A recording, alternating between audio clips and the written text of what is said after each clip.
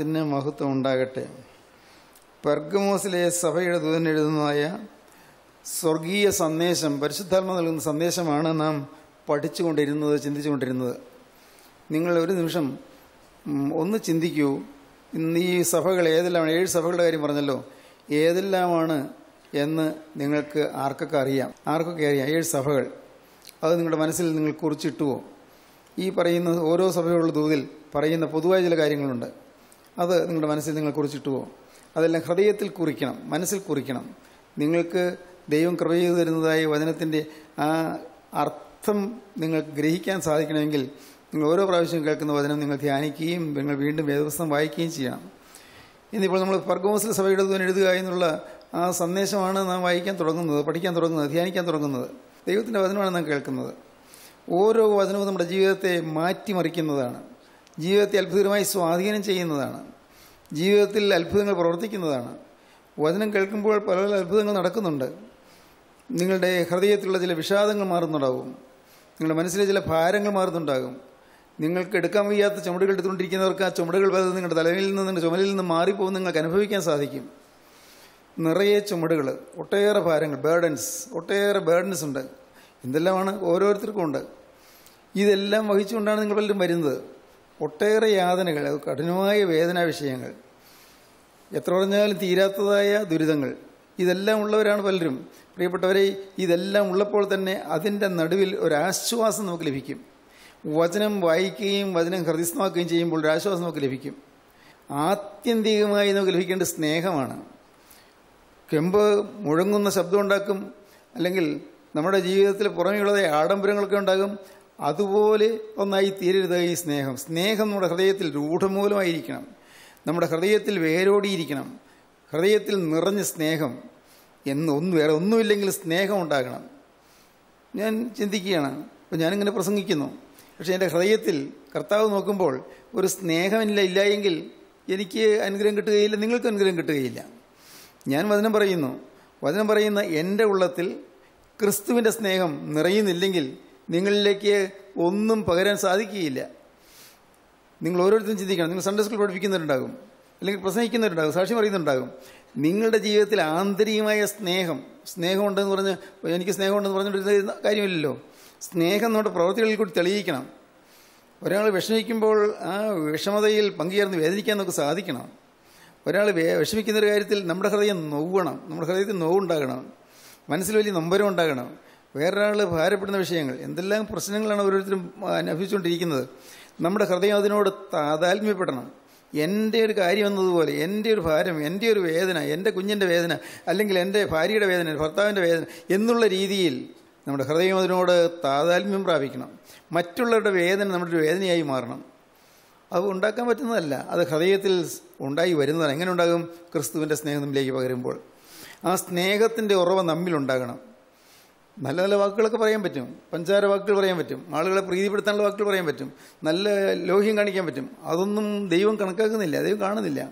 മുഴുകുന്ന ചെമ്പോ ചെലമ്പുന്ന കൈത്തളമോ പോലെയായിരിക്കും. അത്രയേ ഉള്ളൂ. എന്നാൽ സ്നേഹം എന്ന് പറയുന്നത് ഒരാളുടെ ആത്മീയ നന്മ ആഗ്രഹിക്കുകയും എന്നെ തന്നെ മറന്ന് ആളുടെ നന്മയ്ക്ക് വേണ്ടി പരിശ്രമിക്കുകയും ചെയ്യുന്നതാണ് സ്നേഹം എന്ന് പറയുന്നത്. സ്നേഹം. വചനം എപ്പോഴും സ്നേഹമാണ്. ഈ വചനത്തിൽ കൂടി നമുക്ക് സ്നേഹമാണ് കിട്ടുന്നത്. പ്രിയപ്പെട്ടവരെ നിങ്ങൾ ചിന്തിച്ചു നോക്കൂ നിങ്ങളുടെ കുടുംബജീവിതത്തിൽ ഈ സ്നേഹം നിങ്ങൾക്ക് അനുഭവിക്കാൻ പറ്റുന്നുണ്ടോ? ഈ സ്നേഹം പകരാൻ പറ്റുന്നുണ്ടോ? നിങ്ങളുടെ ഭാര്യാവർത്ത ജീവിതത്തിൽ ഭാര്യയും ഭർത്താവ് ഒരുമിച്ചുള്ള ജീവിതത്തിൽ ആ സ്നേഹം നിങ്ങൾക്ക് വാസ്തവമായ സ്നേഹം നിങ്ങളുടെ ഹൃദയത്തിൽ നിങ്ങൾക്ക് പാലിക്കാൻ സാധിക്കുന്നുണ്ടോ? കുഞ്ഞുങ്ങൾക്ക് കാണാൻ പറ്റുമോ? നിങ്ങളുടെ അപ്പനും അമ്മയും ഉള്ളതായ സ്നേഹം അത് ദൃഢമായ ഒരു സ്നേഹം കാണാൻ പറ്റുമോ? മക്കളത് കാണണം മക്കളതറിയണം. മക്കളതിനെ പോരാ അയൽക്കാരത് കാണണം അയൽക്കാരത് ഗ്രഹിക്കണം. ദൈവത്തിന് സ്തോത്രം. നമ്മുടെ എപ്പോഴും നമ്മൾ കണ്ടുകൊണ്ടിരിക്കുന്നവർ അതറിയണം.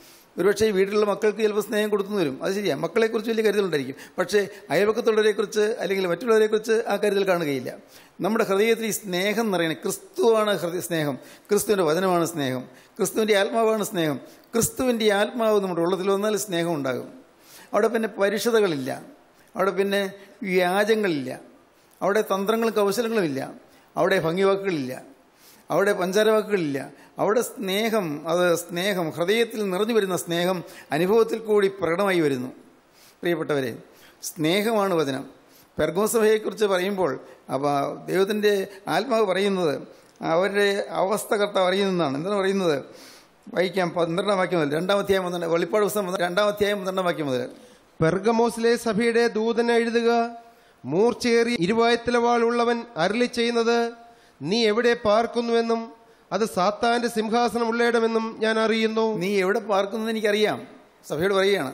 സഭയുടെ ദൂതൻ സഭയുടെ നേതാവ് സഭയുടെ പാസ്റ്റർ അല്ലെങ്കിൽ സഭയുടെ വികാരി സഭയുടെ അച്ഛൻ സഭയെ നടത്തുന്ന വ്യക്തി പറയുകയാണ് നീ സാത്താന്റെ സിംഹാസനമുള്ളിടത്താണ് നീ പാർക്കുന്നത്. നീ ഇവളുടെ വിശുദ്ധമായ സാഹചര്യത്തിലല്ല നീ പാർക്കുന്നത്. നീ പാർക്കുന്നത് സാത്താൻ സിംഹാസനം ഇട്ടിരിക്കുന്നിടത്താണ്. നിന്റെ സഭയിൽ നീ നടത്തുന്ന നിന്റെ സഭയിൽ നീ പരിപാലിക്കുന്നതിന്റെ ജനങ്ങളുടെ ഇടയിൽ സാത്താൻ സിംഹാസനം ഇട്ടിരിക്കുകയാണ്. ഇത് നീ അറിയുന്നുണ്ടോ? ചോദിക്കുകയാണ് ഇത് നീ അറിയുന്നുണ്ടോ? സാത്താന്റെ സിംഹാസനമുള്ളിടത്താണ് നീ പാർക്കുന്നതെന്ന് എനിക്കറിയാം. അതുകൊണ്ട് എനിക്ക് നിന്നോട് വലിയ സഹതാപമുണ്ട്. നിന്നോട് വലിയ സ്നേഹമുണ്ട്. നിന്നെക്കുറിച്ച് എനിക്ക് കരുതലുണ്ട്. സാത്താൻ സിംഹാസനം ഇട്ടിരിക്കുന്ന ഇടം ദൈവത്തിന് സ്തോത്രം. പ്രിയ സഹോദരങ്ങളെ നിങ്ങളോട് ഞാൻ ചോദിക്കട്ടെ നിങ്ങളുടെ ഹൃദയത്തിൽ സാത്താൻ ഇടമുണ്ടോ? സാത്താൻ സിംഹാസനം ഇട്ടിട്ടുണ്ടോ? നമ്മെ ഭരിക്കുന്നത് ആരാണെന്ന്? നമ്മെ ഓരോരുത്തരെയും ഭരിക്കുന്നത് എന്റെ കർത്താവ് അനേകർ വചനം കേൾക്കുന്നെങ്കിൽ ഒന്നും ചിന്തിക്കുന്നില്ല. സാത്താനാണ് നമ്മൾ പലരെയും നയിച്ചു കൊണ്ടുപോകുന്നത്. സാത്താനാണ് നമ്മെ കോപിപ്പിക്കുന്നത്. സാത്താനാണ് കലഹം ഉണ്ടാക്കുന്നത്. സാത്താനാണ് വീട്ടിൽ സ്വൈരക്കേടുണ്ടാക്കുന്നത് സാത്താനാണ് പിള്ളേർ പഠിക്കുന്നത് ഉഴപ്പിക്കുന്നത് ഉഴപ്പാക്കുന്നത് പഠിക്കാൻ താല്പര്യമില്ലാതാകുന്നത് മടി പിടിക്കുന്നത്. സാത്താനാണ് ചീത്ത കൂട്ടുകെട്ടിലേക്ക് കുട്ടികളെ കൊണ്ടുപോകുന്നത്. നിങ്ങൾ പലരെയും മദ്യത്തിലേക്കോ മയക്കുമരുന്നിലേക്കോ കഞ്ചാവിലേക്കോ വലിച്ചുകൊണ്ടുപോകുന്നത് സാത്താനാണ്. ഒരു ഭീകരനായ പിശാചാണ്. അവന്റെ സിംഹാസനത്തിൽ ഇരിക്കുന്നിടത്താണ് നീ ഇരിക്കുന്നത്. അവൻ അവൻ സിംഹാസനം ഇട്ടിരിക്കുന്നിടത്താണ് നീ ഇരിക്കുന്നത്. സിംഹാസനം ഇരിക്കുന്നാൽ അവൻ ഭരിക്കുന്നിടത്ത്. അവൻ സിംഹാസനം ഇട്ടിരിക്കുന്നു പറഞ്ഞാൽ എന്താണ്? അവൻ ഭരിക്കുന്നിടത്താണ് നിങ്ങൾ ഇരിക്കുന്നത്. സാത്താന്റെ സിംഹാസനമുള്ള ഇടം. നാം ഇരിക്കുന്ന വീടോ നമ്മുടെ ജോലിസ്ഥലമോ അല്ല ഈ പറയുന്നത്. നമ്മുടെ ആകമാനമുള്ള ആളത്വം സാത്താന് ഭരണമുള്ള ഇടത്താണ്. സാത്താൻ നമ്മിൽ ഭരണമുണ്ട്. സാത്താനാണ് രാജാവ്. രാജാവ് സിംഹാസനമിട്ട് ഭരിക്കുന്നു. നാം പ്രജകളാണ്. ഈ സാത്താന്റെ ഓരോ വാക്കുകൾക്കും താളം തുള്ളുന്നവരാണ് നമ്മൾ സാത്താൻ പറയുന്നതനുസരിച്ച് നാം കോപിക്കുന്നു. സാത്താൻ പറയുന്നതനുസരിച്ച് ഇഷ്ടക്കേടുണ്ടാക്കുന്നു സാത്താൻ പറയുന്ന അടുത്ത് അനുസരിച്ച് നാം പരസ്പരം മത്സരിക്കുന്നു. പരസ്പരം അസൂയാൽക്കളാകുന്നു സാത്താൻ പറയുന്നതനുസരിച്ച് നാം പല കാര്യങ്ങളിലും പുറകോട്ട് പുറകോട്ട് ചെയ്യും നല്ല കാര്യങ്ങളിൽ നിന്ന് പുറകോട്ട് പോകുന്നു. സാത്താൻ സിംഹാസനം ഇട്ടിരിക്കുന്നു നിങ്ങൾ ചിന്തിക്കൂ. ഒരു വളരെ ലളിതമായ കാര്യം ചിന്തിക്കൂ. നിങ്ങളുടെ ജീവിതത്തിൽ നിർമ്മലമായ ഹൃദയം നിങ്ങൾക്ക് എല്ലാവരോടും ഉണ്ടോ? നിർമ്മലമായ സ്നേഹം. നിർമ്മലമായ ഹൃദയം നിർമ്മലമായ സ്നേഹം എല്ലാവരോടും ഉണ്ടോ? ഒരു കറയുമില്ലാത്ത സ്നേഹം എല്ലാവരോടും ഉണ്ടോ? ഉണ്ട് എന്ന് ചുമ്മാ പറഞ്ഞാൽ പോരാ. നിങ്ങൾ ആ സ്നേഹം എങ്ങനെ കാണിച്ചിട്ടുണ്ട്? ആ സ്നേഹം എങ്ങനെ കാണിച്ചിട്ടുണ്ട്? നിങ്ങൾ ചിന്തിക്കൂ. നിങ്ങൾ ഈ വചനം കേൾക്കാൻ എത്ര പേരെ നിങ്ങൾ വിളിച്ചിട്ടുണ്ട്? വചനം കേൾക്കാൻ എത്ര പേരെ നിങ്ങൾ ഉത്സാഹിപ്പിച്ചിട്ടുണ്ട്? അവരുടെ ആത്മാവിന് വേണ്ടി കരുതലുണ്ടെങ്കിൽ ആ ദാഹം ഉണ്ടെങ്കിൽ ആത്മാക്കൾക്ക് ദാഹം ഉണ്ടെങ്കിൽ എങ്ങനെയെങ്കിലും കുറേ വചനം കേൾക്കട്ടെ എന്ന് വിചാരിക്കില്ലേ? നിങ്ങൾ ചിന്തിക്കുക നിങ്ങൾ എന്ത് ചെയ്തു? ഹൃദയത്തിൽ സ്നേഹമുണ്ടോ? ആത്മാക്കളെ കുറിച്ചൊരു കരുതലുണ്ടോ? ആത്മാക്കൾ നഷ്ടപ്പെടുന്നതിനെക്കുറിച്ചൊരു വേദനയുണ്ടോ? പ്രിയപ്പെട്ടവരെ ഇതുപോലൊരു ദിവസം ഇതാ എല്ലാം എല്ലാം സമാധാനമെന്നും നിർഭയമെന്ന് പറയുമ്പോൾ ഗർഭിണിക്ക് പ്രസവവേദന വരുമ്പോൾ അവർക്ക് പെട്ടെന്ന് നാശം അനുഭവിക്കും പെട്ടെന്നാണ് സംഭവിക്കുന്നത്. ഇന്ന് നമുക്ക് പ്രസംഗിക്കാം. ഇന്ന് നമുക്ക് യോഗങ്ങൾ നടത്താം. ഇന്ന് നമുക്ക് പാട്ടുകൾ പാടാം. ഇന്ന് നമുക്ക് സാക്ഷ്യങ്ങൾ പറയാം. ഇന്ന് ഇതൊക്കെ ഇതൊക്കെ ചെയ്യും. പക്ഷേ അവസാനം തീരുമാനമില്ലാത്ത സമയത്ത് നമുക്കൊരു വ്യക്തമായ നിശ്ചയമില്ലാത്ത സമയത്ത് വ്യക്തമായ സമർപ്പണം ഇല്ലാത്ത സമയത്ത് കത്തവായ യേശു വരുമ്പോൾ അവർക്ക് പെട്ടെന്ന് നാശം വന്ന് ഭവിക്കും. ദൈവത്തിന് സ്തോത്രം. പെട്ടെന്ന്. ഓർക്കുക നാം എവിടെയാണ് പാർക്കുന്നത്? എന്റെ ഉള്ളിൽ സാത്താൻ ഇടമുണ്ടോ? എന്റെ ഹൃദയത്തിൽ സാത്താൻ സിംഹാസനം ഇട്ടിട്ടുണ്ടോ? ഏതെങ്കിലും പരുഷത ആരോടെങ്കിലും ഉണ്ടോ? ആരോടെങ്കിലും ഒരു മുൻവിധിയുണ്ടോ? ആരോടെങ്കിലും നമുക്കൊരു ഇഷ്ടക്കുറവുണ്ടോ? ഇല്ല എന്നൊക്കെ പറയും നിങ്ങൾ. ശരിയാണ് നിങ്ങൾ പറയും. പക്ഷേ നിങ്ങളുടെ ഹൃദയത്തിൽ ഒരു ടെസ്റ്റ് കേസ് വരുമ്പോൾ അറിയാം നിങ്ങൾക്ക് സ്നേഹമില്ല എന്ന്. ഒരാവശ്യം വരുമ്പോൾ അറിയാം നിങ്ങൾക്ക് സ്നേഹമില്ല എന്ന്. എങ്ങനെയും ആത്മാക്കളെ വീണ്ടെടുക്കണമെന്നുള്ളതായ ദാഹം എങ്ങനെയും ആത്മാക്കൾ വചനം കേൾക്കണമെന്നുള്ളതായ ദാഹം എങ്ങനെയും ദൈവത്തിന് വചനം കേൾക്കാൻ ഈ പാവപ്പെട്ട ജനത്തെ ഒന്ന് ഒന്ന് ഒന്നിച്ച് കൂട്ടണമെന്നുള്ളതായ അവരെ എങ്ങനെയെങ്കിലും സ്വന്തം വാഹനം ഉപയോഗിച്ച് അവരെ കൂട്ടിക്കൊണ്ട് വരണമെന്നുള്ളതായി ദാഹം. എത്രയോ പേര് അവരുടെ പൈസ മുടക്കി വാഹനം വാടകയ്ക്കെടുത്ത് ജനങ്ങളെ കൂട്ടിക്കൊണ്ടുവരുന്നു എത്ര പേര്? നമ്മുടെ കൂട്ടായ്മ വാസ്തവത്തിൽ അകത്ത് നല്ല ആത്മീയ അനുഭവമുള്ള ദൈവമക്കളുണ്ട് ഇവിടെ. അനേകരുണ്ട്. ദൈവത്തിന് സ്തോത്രം. സ്നേഹം വേണം. സാത്താൻ സിംഹാസനം ഇട്ടിട്ടുണ്ട് എന്നുള്ളത് തിരിച്ചറിയണം. എന്റെ ഹൃദയത്തിൽ പിശാജ് സിംഹാസനം ഇട്ടിട്ടുണ്ട്. ഇവിടെ എനിക്ക് വിനയമില്ല. എന്തിനേയും ചോദ്യം ചെയ്യുന്ന സ്വഭാവമാണ് എനിക്കുള്ളത്. എന്റെ ഹൃദയത്തിൽ മത്സരമുണ്ട്. എന്റെ ഹൃദയത്തിൽ അസൂയയുണ്ട്. എന്റെ ഹൃദയത്തിൽ ഇഷ്ടക്കേടുകളുണ്ട്. എന്റെ ഹൃദയത്തിൽ മുഷിച്ചിലുകളുണ്ട് എന്റെ ഹൃദയത്തിൽ ഐക്യമില്ല. വാസ്തവമായ ഐക്യം ദൈവമക്കളിൽ നിന്നുള്ള ഐക്യം പുലർത്താൻ എനിക്ക് സാധിക്കുന്നില്ല എന്ന് തിരിച്ചറിയണം. പുറമേ വലിയ പ്രസംഗങ്ങൾ ചെയ്തുകൊണ്ടൊന്നും കാര്യമില്ല. എന്റെ ഹൃദയം ആത്മാക്കൾക്ക് വേണ്ടിയുള്ള ദാഹമുള്ള ഹൃദയമാണോ? ആത്മാക്കളെ സ്നേഹിക്കുന്നുണ്ടോ? മനുഷ്യർക്ക് വേണ്ടി ഓരോരുത്തരും രക്ഷപ്പെടാൻ വേണ്ടി ഞാൻ ദാഹിക്കുന്നുണ്ടോ? ദൈവത്തിന് സ്തോത്രം. പ്രിയപ്പെട്ടവരെ സാത്താൻ സിംഹാസനം ഇട്ടിരിക്കുന്നിടത്താണ് നീ ഇരിക്കുന്നതെന്ന്. നീ എവിടെ ഇരിക്കുന്നുവെന്നും നീ എവിടെ പാർക്കുന്നുവെന്നും അത് സാത്താന്റെ സിംഹാസനമുള്ള ഇടം എന്നും ഞാൻ അറിയുന്നു. ഞാൻ അറിയുന്നു പ്രിയപ്പെട്ടവരെ. അത് ഗൗരവമേറിയ ഒരു കാര്യമാണ്. അറിയുന്നു. ദൈവം അറിയുന്നു. നിത്യനായ ദൈവം എല്ലാം അറിയുന്നു.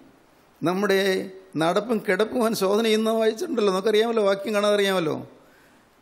നമ്മുടെ ഓരോ നിമിഷവും കർത്താവിനെ കണ്ടുകൊണ്ടിരിക്കുന്നു. ദൈവത്തിന് സ്തോത്രം. ഓരോ നിമിഷവും സ്തോത്രം. ഞാൻ എന്റെ സ്വന്തം അനുഭവത്തോട് ചേർത്താണ് ചിന്തിച്ചത്. ഞാൻ ചിന്തിക്കുന്നു എന്റെ ഓരോ സെക്കൻഡിന്റെ കർത്താവിനെ കാണുന്നു. ഞാൻ എന്ത് ഭാഗ്യശാലിയാണ്? സ്തോത്രം. പെട്ടെന്ന് ഞാൻ ഓർത്തു ഞാൻ എന്ത് ഭാഗ്യശാലിയാണ്? എന്റെ കാര്യം നോക്കാൻ എനിക്ക് ഒരാളുണ്ടല്ലോ എന്റെ കാര്യം അന്വേഷിക്കാൻ എനിക്ക് ഒരാളുണ്ടല്ലോ പ്രിയപ്പെട്ടവരെ നിങ്ങളുടെ കാര്യം ഇത് തന്നെയാണ്. ദൈവം നിങ്ങളുടെ കാര്യം അന്വേഷിക്കുന്നുണ്ട്. നിങ്ങളുടെ നന്മയ്ക്ക് വേണ്ടി ആഗ്രഹിക്കുന്നുണ്ട്. നിങ്ങൾ രോഗിയായി വേദനിക്കുമ്പോൾ കർത്താവ് അത് കാണുന്നുണ്ട്. കർത്താവിന് കഴിവില്ലാത്തതുകൊണ്ടല്ല രോഗം മാറ്റാത്തത്. ആത്യന്തിക നന്മ എന്താണ് നമുക്കറിഞ്ഞുകൂടാ. കർത്താവ് രോഗം മാറ്റുന്നില്ലെങ്കിൽ അതിനും ദൈവത്തിന് ഉദ്ദേശമുണ്ട്. നല്ലത്. ദൈവത്തിന് സ്തോത്രം. അപ്പോൾ പൗലോസിന് രോഗം ഉണ്ടായിരുന്നല്ലോ. രോഗം ഉണ്ടായിരുന്നു. എപ്പോഴും കണ്ണിൽ നിന്ന് വെള്ളം വരികയായിരുന്നാണ് പറയുന്നത്. കണ്ണിൽ നിന്ന് വെള്ളം വന്നുകൊണ്ടേയിരിക്കുന്നു.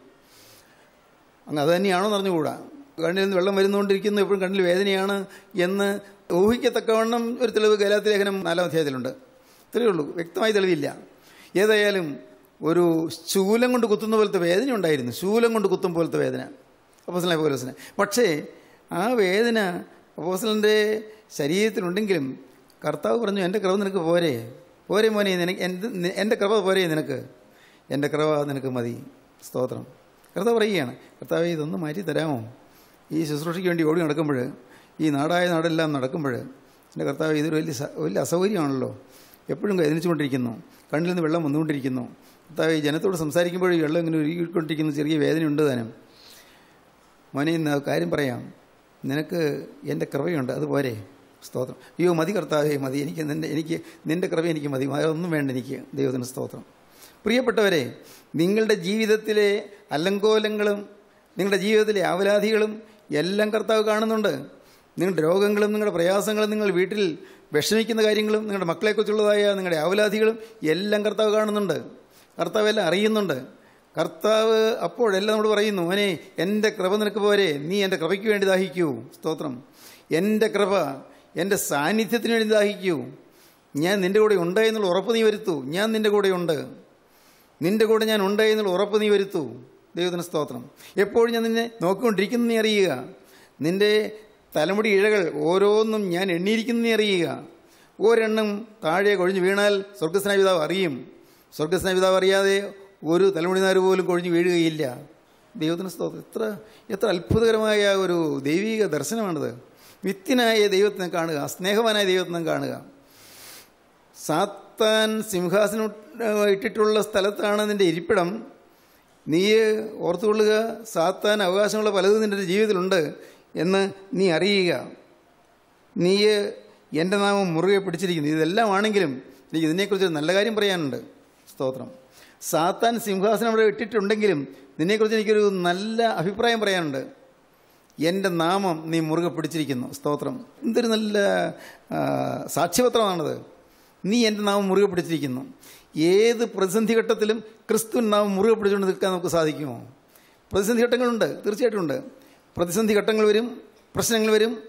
അപ്പോഴെല്ലാം എന്റെ യേശു വ്യസനിക്കരുത് എന്റെ യേശു ദുഃഖിക്കരുത് എന്ന് ഉള്ളത്തിൽ നിരൂപിച്ചുകൊണ്ട് ആ പ്രശ്നത്തെ നിങ്ങൾക്ക് അഭിമുഖീകരിക്കാൻ സാധിക്കുമോ? എങ്കിൽ നിങ്ങൾക്ക് ജയിക്കാം. ഞാൻ പറയുന്നത് പരീക്ഷ ജയിക്കുന്ന കാര്യം മാത്രമല്ല ഭൗതികമായ പല അനേകം പാപങ്ങൾ ജയിക്കാൻ നിങ്ങൾക്ക് സാധിക്കും. ഭൗതികമായ അനേകം ദുരിതങ്ങൾ നേരിടാൻ നിങ്ങൾക്ക് സാധിക്കും. ഈ ലോകത്തുണ്ടാകുന്ന പല കഷ്ടപ്പാടുകളും രോഗങ്ങളും ദുഃഖങ്ങളും വേദനകളും നിങ്ങൾക്ക് നേരിടാൻ സാധിക്കും. എങ്ങനെ? യേശുവിന്റെ നാമം മുറുകെ പിടിച്ചുകൊണ്ട് നിൽക്കുക മുറുകെ പിടിക്കുക. എന്റെ നാമം നീ മുറുകെ പിടിച്ചിരിക്കുന്നു. ദൈവത്തിന് സ്തോത്രം. ദൈവനാമം മുറുകെ പിടിച്ചുകൊണ്ട് നമുക്ക് നിന്നാൽ ദൈവം നമുക്ക് അനുഗ്രഹങ്ങൾ തരും പെരിയ അനുഗ്രഹങ്ങൾ തരും. ദൈവത്തിന് സ്തോത്രം. എപ്പോഴും അങ്ങനെ ജീവിച്ച വിശുദ്ധന്മാരുണ്ട്.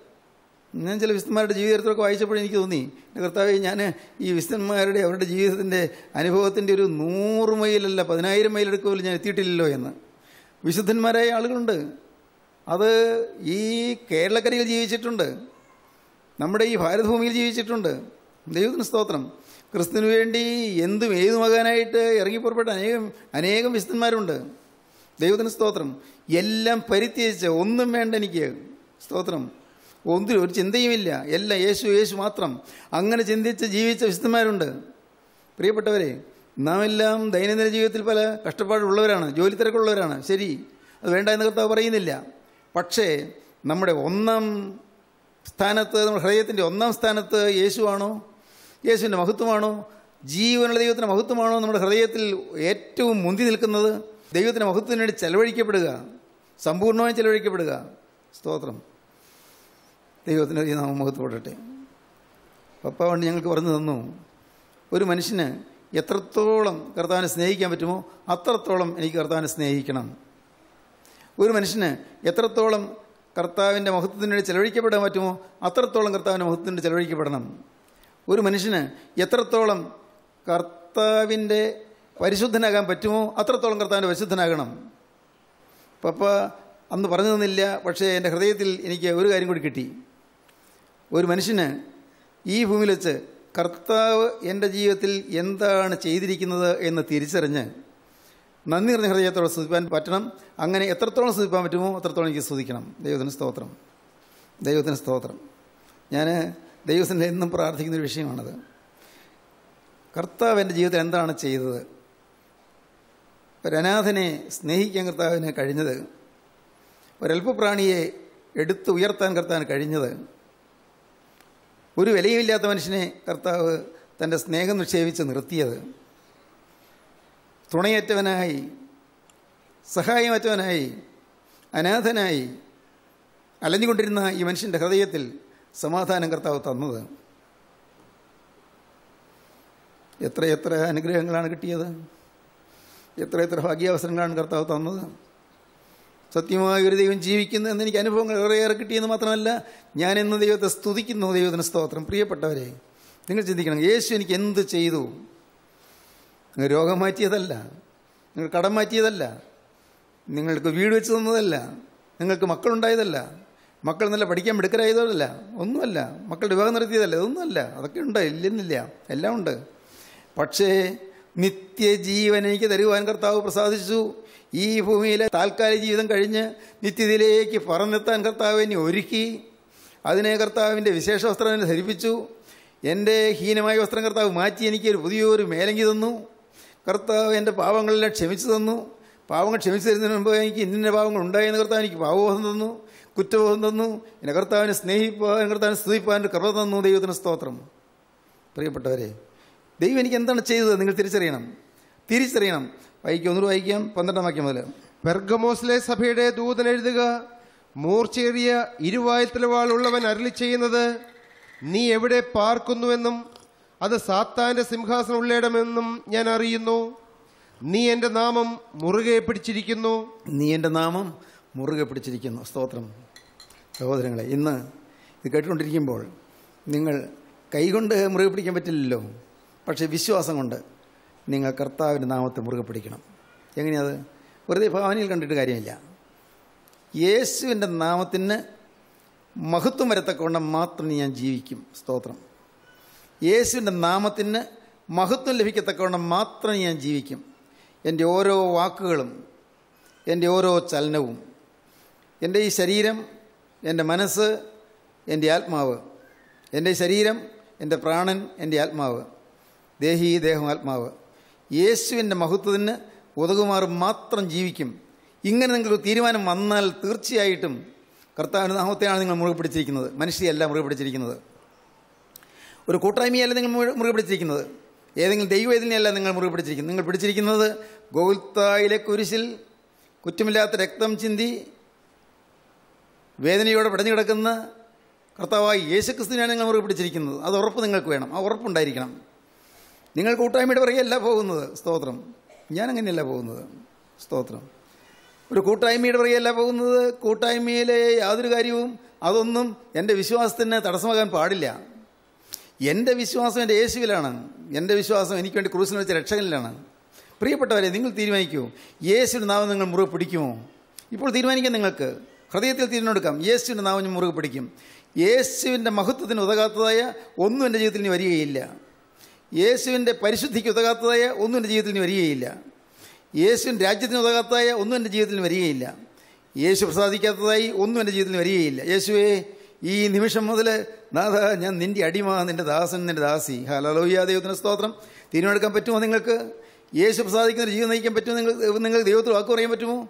യേശു പ്രസാദിക്കുന്ന ഒരു ജീവിതം. കർത്താവെ ഇനിയുള്ള ശേഷിക്കുന്ന ആയുസ്. എത്രയുണ്ടെന്ന് എനിക്കറിയാൻ വയ്യല്ലോ കർത്താവെ. എത്രയുണ്ടെന്ന് അറിയാൻ പാടില്ലല്ലോ. നാളെ നേരം വെളുക്കുമ്പോൾ ഞാനുണ്ടോ എനിക്ക് അറിഞ്ഞുകൂടാ നാളെ സന്ധ്യയാകുന്നതിന് മുമ്പ് എന്റെ ശരീരം മണ്ണിടിലാകുമോ എനിക്ക് അറിഞ്ഞുകൂടാ കർത്താവേ എന്നാൽ ഇന്ന് ഇപ്പോൾ എനിക്ക് ആയുസ് കിട്ടിയിട്ടുണ്ട് ഈ നിമിഷം.